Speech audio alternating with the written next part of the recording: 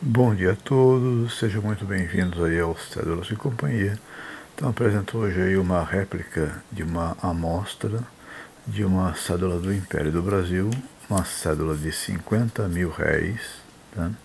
É, tá lá, então, é, Tesouro Nacional, né? Amostra, tá aqui. Temos aí nosso Dom Pedro II e ali ao lado temos ali uma mulher, né? É, está sentada, né? Um desenho, uma alegoria. Essa cédula é de 50 mil réis, de 1888. Ela é, é da sexta estampa. Quem imprime é a American Bank Note Company, né? uma firma americana. As séries aí elas não são referidas.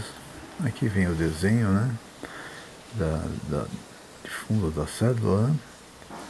E então tá aí uma cédula do Império Nacional, né?